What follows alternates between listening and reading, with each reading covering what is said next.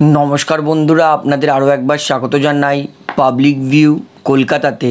বন্ধুরা, Kolkata night Riders দলে হতে পারে আগামী ম্যাচে দুটো বড় পরিবর্তন। কারণ কে কেকেআর দলে এই মুহূর্তে অনেক খেলোয়াড় খেলছে যারা কিন্তু তেমন ভালো পারফর্ম করতে পারছে না কে কেকেআর দলের জন্য। তাই কে কেকেআর দলে কোন দুই খেলোয়াড়কে সুযোগ দিলে আমার মনে হয় কে কেকেআর আবার জয়ের ছন্দে ফিরতে পারবে? আজকের এই ভিডিওটিতে সেটাই আপনাদেরকে জানাব। তার আগে একটা অনুরোধ করে রাখি, যেহেতু এইখানে আপনারা খেলা সম্বন্ধে সমস্ত রকম আপডেটস পেয়ে যাবেন, তাই অবশ্যই পাবলিক ভিউ কলকাতা এই চ্যানেলটিকে সাবস্ক্রাইব করে বেল আইকন প্রেস করে অল করে রাখবেন। তাহলে বন্ধুরা কেকেআর দলে প্রথম যেই পরিবর্তনটা আমার মতে কেকেআরকে করা উচিত সেটা হচ্ছে উইকেট কিপার সেলডন জ্যাকসনের কারণ সেলডন জ্যাকসন তিনি এমনভাবে ব্যাটিং করেন যে সেলডন জ্যাকসনের ওপর একটুও ভরসা পাওয়া যায় না।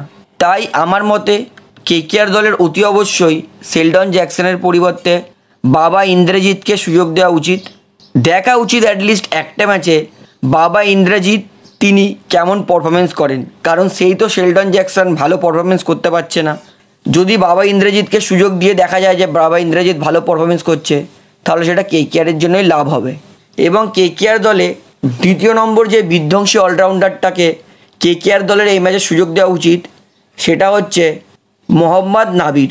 কারণ আইসিসি টি টোয়েন্টি ওয়ার্ল্ড র্যাঙ্কিংয়ে এক নম্বর অলরাউন্ডার হচ্ছে মোহাম্মদ নাবি। তাই যেহেতু কেকেআর কাছে এত বিধ্বংসী, এত ভালো অলরাউন্ডার আছে, তাই আমার মতে কেকেআর দলকে অবশ্যই মোহাম্মদ নাবিকে সুযোগ দিয়ে দেখা উচিত যে মোহাম্মদ নাবি তিনি কেকেআরের জন্য কেমন পারফরমেন্স করেন। কারণ নাবি তিনি যতবার সানরাইজার্স হায়দ্রাবাদের জন্য খেলেছেন, তিনি কিন্তু প্রত্যেকবারই ভালো পারফরমেন্স করেছেন। তাই আমার মতে কে কেকেআর দলের দ্বিতীয় যেই পরিবর্তনটা করা উচিত, সেটা হচ্ছে মোহাম্মদ নাবির। এইবার বন্ধুরা, আপনার কি মনে হয়, মোহাম্মদ নাবিকে কোন বিদেশি খেলোয়াড়ের পরিবর্তে দলে খেলানো উচিত? তাহলে বন্ধুরা, আজকের এই ভিডিওটিতে আমার আপনাদেরকে এতটাই বলার ছিল, তো আশা করি ভিডিওটি আপনার ভালো লাগল। তো ভিডিওটি ভালো লাগলে অবশ্যই লাইক করুন কমেন্ট করুন শেয়ার করুন। এবং বন্ধুরা চ্যানেলটিতে আর নতুন আছেন, সবাইকে একটা অনুরোধ করব, তারা অবশ্যই পাবলিক ভিউ কলকাতায় চ্যানেলটিকে সাবস্ক্রাইব করে বেল আইকন প্রেস করে অল করে রাখবে ধন্যবাদ।